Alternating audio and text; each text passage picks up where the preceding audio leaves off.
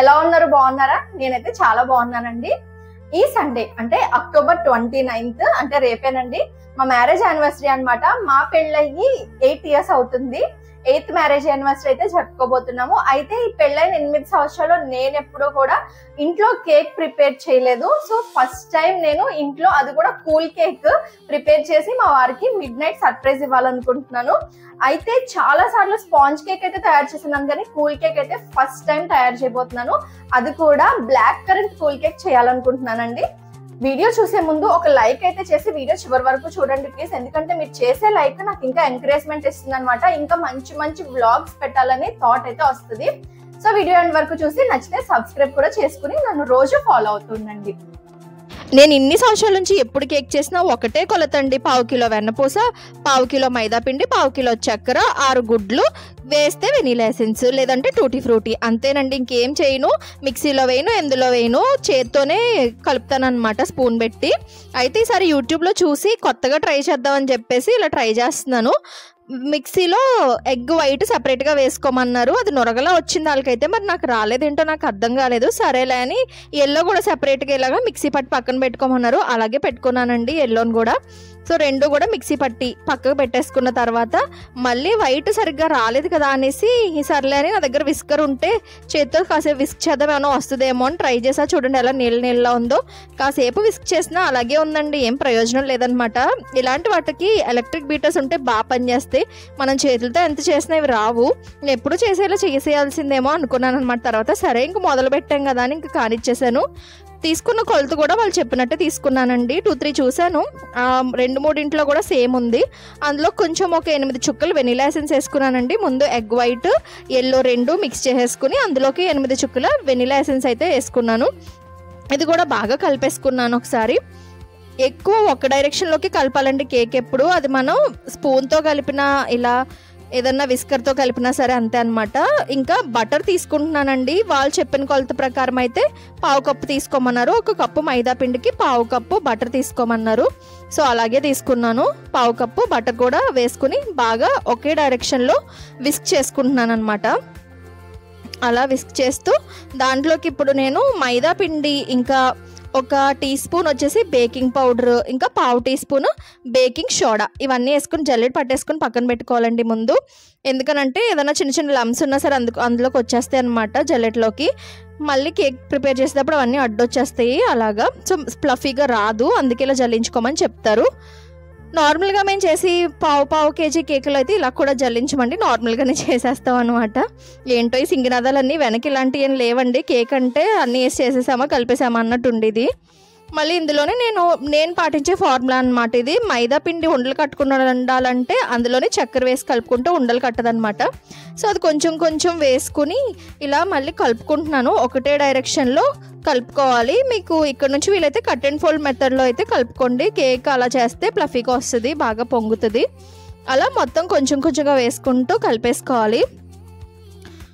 అయినా ఇష్టమైన వాళ్ళ కోసం ఎంత కష్టమైనా చేయాలనిపిస్తుంది కదండి. యాక్చువల్గా నాకు పీరియడ్ వచ్చే ఒక వన్ వీక్ ముందు నుంచి నీరసం ఉంటుంది అన్నమాట బాగా ఈరోజు కూడా అంతే చాలా నీరసంగా అనిపించింది. కాళ్ళు లాగేస్తున్నాయి ఇంక ఊరికూరికే తల తిరుగుతుంది. కానీ ఎలాగైనా సరే ఆయనకి సర్ప్రైజ్ ఇవ్వాల్సిందే అని చెప్పేసి కూర్చున్నాను. అందుకే కేక్ అయితే కష్టమైనా ఇష్టంగా చేస్తున్నాను. సో మొత్తం అలాగా మిక్స్ అయ్యేలాగా బాగా మిక్స్ చేసుకొని కాసేపు స్పాచులాతో కట్ అండ్ ఫోల్డ్ మెథడ్లోనే కాసేపు మిక్స్ చేశానండి. తర్వాత మౌల్డ్ ఉంది నా దగ్గర హార్ట్ షేప్ది ఇప్పుడు వరకు వాడలేదనుకోండి ఫస్ట్ టైం వాడుతున్నాను. సో అందులోకి బటర్ పేపర్ కాదు ఇది. బటర్ పేపర్ లాంటిదే శారీస్లోకి వస్తుంది కదా అదనమాట. ఇంట్లో ఉన్నాయి వాడుకోవాలండి. బయట ఇంకొని తెచ్చుకోక్కర్లేదు. సో ముందు మౌల్డ్కి అయితే ఇలా ఆయిల్ పోసుకొని దాంట్లో బటర్ పేపర్ పెట్టుకుని మళ్ళీ దానికి తిరిగి ఆయిల్ పోసుకోవాలన్నమాట.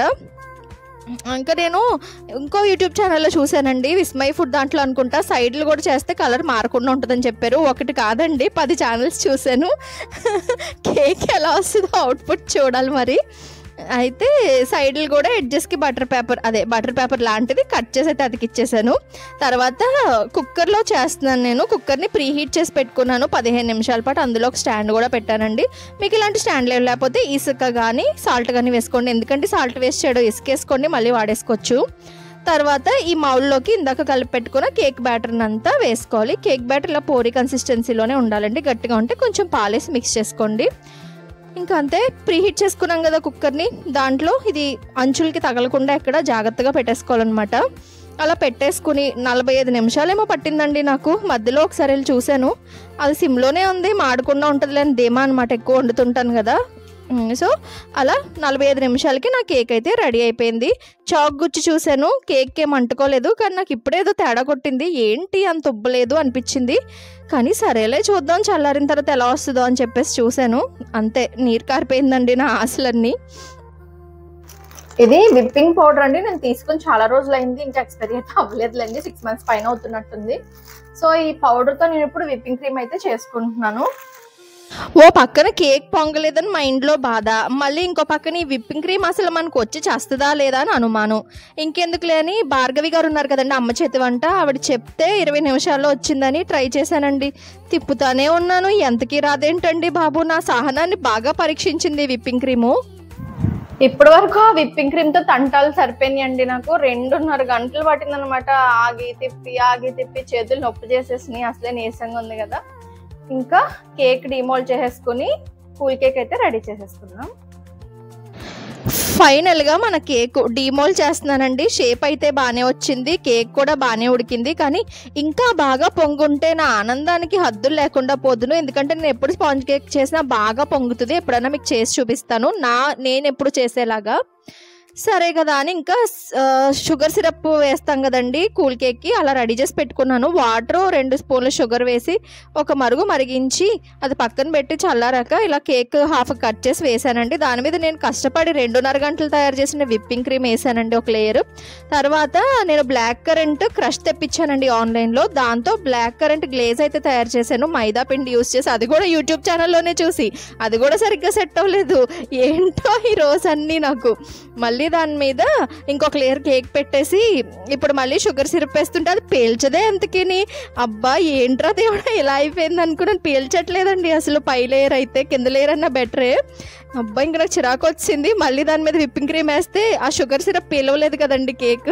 అది పైన ఉండిపోయి విప్పింగ్ క్రీమ్ అసలే సరిగ్గా రాలేదు. అది పల్చగా అయిపోయింది. ఇంకా పైన వేసిన ఈ బ్లాక్ కరెంట్ అయితే ఇంకా మొత్తం ఇలా జారిపోతుందండి. కిందకి ఉండట్లేదు. ఇంకా నాకు విసుగొచ్చి అలా అలా పామేసా అనమాట ఏంటో మొదటిసారి కూల్ కేక్ చేశాను ఇలా అయ్యింది. ఏదో కొత్త రకం స్టైల్లో అయితే వచ్చిందండి.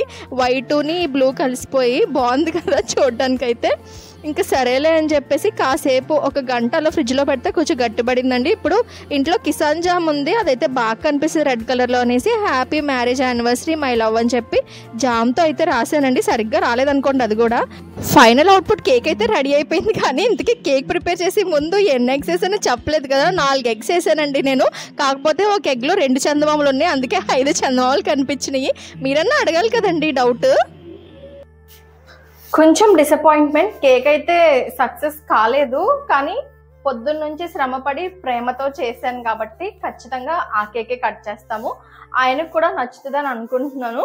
టేస్ట్ అయితే బాగానే ఉంటుంది. కాకపోతే విప్పింగ్ క్రీమ్ కుదరలేదు. పైన జెల్ కూడా పట్టుకోవట్లేదు అనమాట కేక్ వర్క్ అయితే ఓకేగానే వచ్చింది. మరీ సూపర్ అని చెప్పను. నేను ఎప్పుడు కేక్ చేసినా స్పాంజీగానే వస్తుంది. ఈసారి అంతలా రాలేదు మరి. ఎక్కడ కొలతలో తప్పు చేశానో నాకు అర్థం కాలేదు. కానీ ఓకే పర్లేదు. అప్పుడప్పుడు జరుగుతుంటాయి కదా. చేసిన ప్రతిసారి అన్ని కుదరాలంటే కుదరవు. కానీ ఆ కేకే కట్ చేస్తాం. ప్రేమ మనసు మనసు నిండా ప్రేమతో చేశాను అనమాట అది.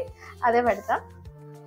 అదేనండి ఇవాళ బ్లాగ్ అయితే సండే అయితే నేను మిడ్ నైట్ సెలబ్రేషన్స్ చేసుకున్న బ్లాగ్ అయితే అప్లోడ్ చేస్తాను సండే కోసం. అండ్ ఆ బ్లాగ్ కోసం అయితే వెయిట్ చేస్తుండండి బాయ్